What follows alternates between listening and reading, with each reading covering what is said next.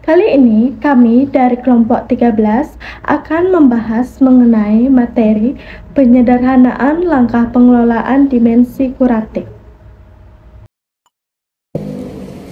Ada empat langkah penyederhanaan pengelolaan dimensi kuratif, yaitu identifikasi masalah, analisis masalah, penilaian alternatif-alternatif pemecahan, penilaian dan pelaksanaan salah satu alternatif pemecahan, dan balikan atau feedback dari hasil pelaksanaan alternatif pemecahan masalah yang dimaksud.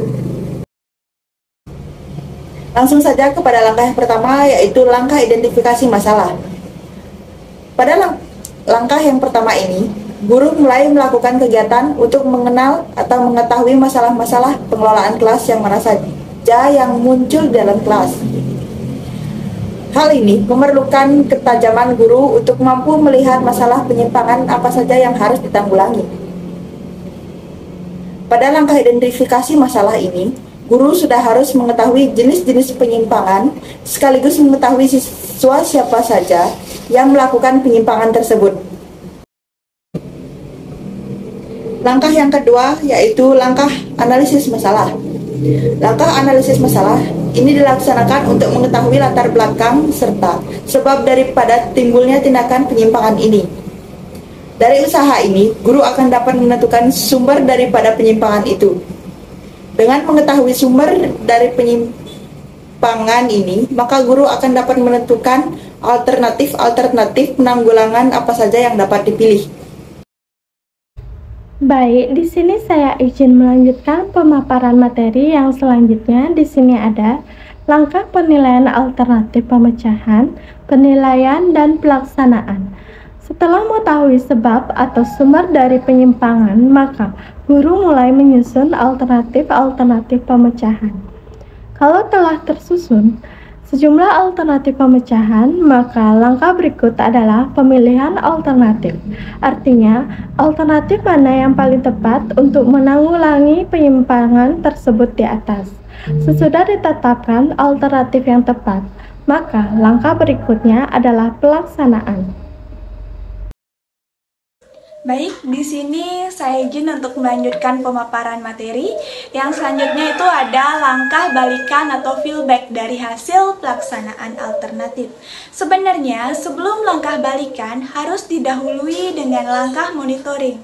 Karena dari monitoring kita akan mendapatkan data alternatif Pemecahan yang dipilih telah mencapai sasaran sesuai yang direncanakan atau ada kekurangan-kekurangankah? Terjadi perkembangan baru yang lebih baik? Semuanya ini merupakan bahan balikan yang sangat berguna bagi penilaian program yang pada akhirnya akan dilakukan perbaikan program. Demikian pula dengan kasus penanggulangan penyimpangan di kelas, dari hasil monitoring kita akan gunakan untuk menilai sampai mana seberapa jauh usaha tersebut telah berhasil atau kurang kena sasaran. Lalu kemudian dilakukan perbaikan atau penyempurnaan.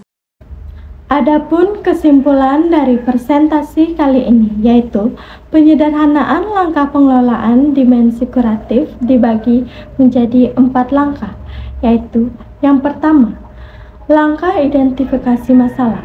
Langkah ini bertujuan untuk mengetahui masalah-masalah pengelolaan kelas yang muncul di dalam kelas. Dan yang kedua, langkah analisis masalah. Langkah ini bertujuan untuk mengetahui sebab dari timbulnya perilaku penyimpangan. Dan yang ketiga, langkah penilaian alternatif pemecahan. Penilaian dan pelaksanaan setelah mengetahui penyebab penyimpangan, maka akan menyusun alternatif pemecahan. Jika telah tersusun sejumlah alternatif pemecahan, artinya alternatif mana yang paling tepat untuk menanggulangi penyimpangan tersebut di atas. Sesudah ditetapkan alternatif yang tepat, maka langkah berikutnya adalah pelaksanaan. Dan yang keempat, langkah yang terakhir, yaitu langkah balikan atau feedback dari hasil pelaksanaan alternatif. Sebelum langkah balikan harus didahului dengan langkah monitoring karena Dari monitoring, kita akan mendapatkan data yang merupakan balikan untuk menilai apakah pelaksanaan dari alternatif pemecahan yang dipilih telah mencapai sasaran yang sesuai yang direncanakan atau ada kekurangan-kekurangan ataukah terjadi perkembangan baru yang lebih baik.